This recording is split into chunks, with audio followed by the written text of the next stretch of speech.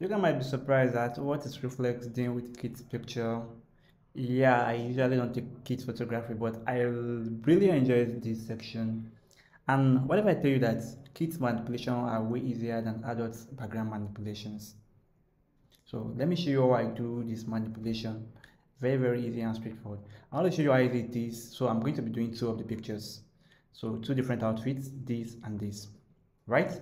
So here's just a tip I'm going to give to you guys. Whenever you want to do any manipulation, especially kid manipulation, make sure you use a background that will be similar to the background you want to bring in. And also don't add props if you know you want to manipulate. But if you know you want to retain the background the way it is, you can add props.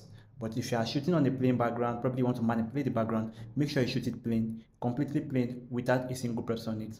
That's the way you'll be able to, you'll be able to get what you want perfectly. Except probably for pictures like this, probably you have a traditional mark you want to use or you have something that does not deal with the background. So you can do what you can pick that one also and put it there.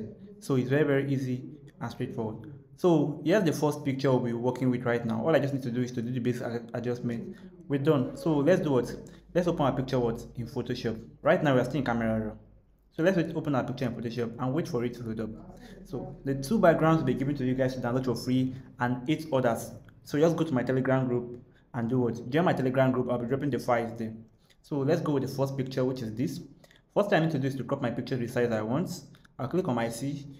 Since it's on 4 by 5 into bracket 8 by 10, it's still going to reshape the, uh, retain the size it's there initially. So I'll just drag from the bottom like this. I'll drag for the top also. Then I'll do what? I'll click on enter key. Stay with me guys. Next thing I'll do right now is to control J on it. This time around, I'll go to my quick selection tool. Under quick selection, I'm going to click on select subject.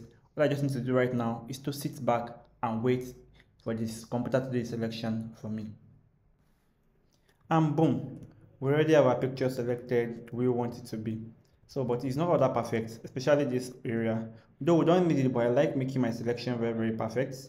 So I'll use my subtraction method and I'm going to subtract this area. If you still don't know how to remove background perfectly, kindly watch some other of my videos. They are going to help you a lot in terms of background removal and stuff. So what I just need to do right now is to right click on it. I'll go to feather. Under feather, I'll make sure I'm using 2.0 pixel to 4.0 pixel. Anyone you feel like using the most. So I'll click on OK, then I'm going to mask it. Right? What I'll just do right now is go back to my background layer again and duplicate it once more by clicking on Ctrl J if you're using a MacBook Command J. Then let's name this layer now. Let's name it our modifier layer. MODIFY. Then what I just need to do right now is to hold down my command key. If I'm using if you're using a Windows PC, control key and click on the mask of your subjects. Of this one, you just remove your subject, click on the mask so that it's going to bring the selection back for you. Then go to select, another select, go to modify, then go to expand. So right now we're expanding by 8 pixels. All I just need to do is to click on OK. Then I'll do what? I'll click on my rectangle marquee tool. I want to add all these areas to the selection, this gray area, or this gray area. I want to add it to the selection. So I'll click my rectangle tool and make sure it's an addition. And I'm going to scroll from here but make sure I'm selecting part of the initial background. I'll do the same thing for the footer area. I'll do the same thing from the right hand side also. Then I just have to right click on it. I'll go to fill, under fill, I'll do what? Click on content aware. If yours is not content aware, open this icon up and click on content aware. Then click on OK. Then just sit back and relax. Let it do the job for you. Boom. See how it is right now? Control D to select. So next thing we need to do right now is to do what? Bring in the background we'll be using right now. So we'll be going on a one minute short break. See you guys in the next one minute.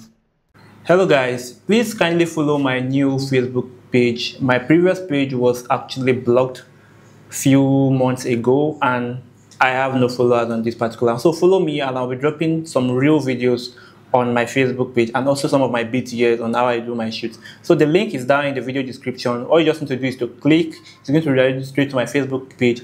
Follow and like some of my posts there. Thank you guys. If you watched the video to this point in time, that means you're loving my tutorial. So the only thing you can do to support me right now is just to click on the subscribe button and also drop a like. And you also have a question, you can also drop a comment. You subscribing, you liking my video is going to make YouTube recommend my videos to others and that's going to encourage me to create more videos like this for you guys to learn from.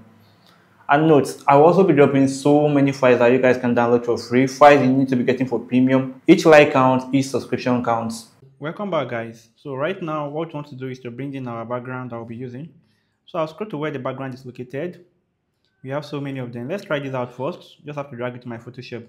Then I'll do it. I will expand it till I see fit. As you can see right now, till I see fit.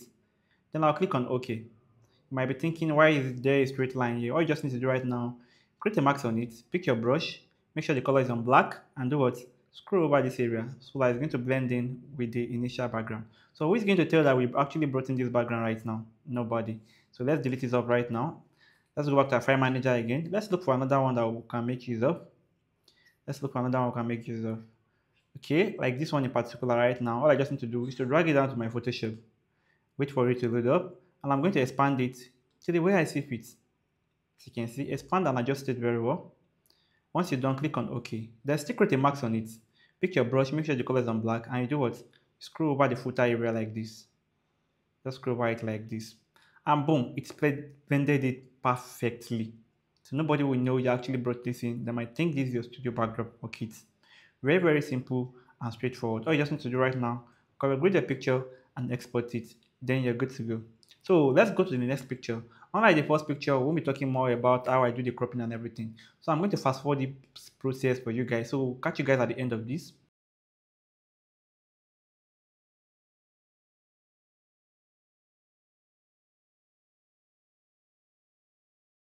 So with that, we, with what we've actually separated everything we want to separate. All just need to do right now is to go back to the file manager and look for the background that is going to work with this baby right now. Okay, let's try this particular one right now, or this. The both of them is going to work perfectly. Just have to drag it down to my Photoshop right now, as you can see. What that's to do is I will make sure I'm actually placing it at the back, so it's going to look very, very real, as if it's actually there. So I'll click on my Enter key. Next I just need to do right now is to create a mask on it. Pick my normal brush by clicking on it and make sure the color is on black. And I'm going to scroll over the what? The area where the edges are. Can you see right now? Look at how we blended this in very, very perfectly. So nobody is going to know we, we just manipulated our background. Very, very easy and straightforward. And all this background will be given to you guys to download for free. All you just need to do is to like, subscribe, and also join my Telegram group. Just as simple as that. Hope this video helped. If it does, don't forget to drop a like. Someone out there might be in this video. See you guys in my next video tutorial. Reflex out.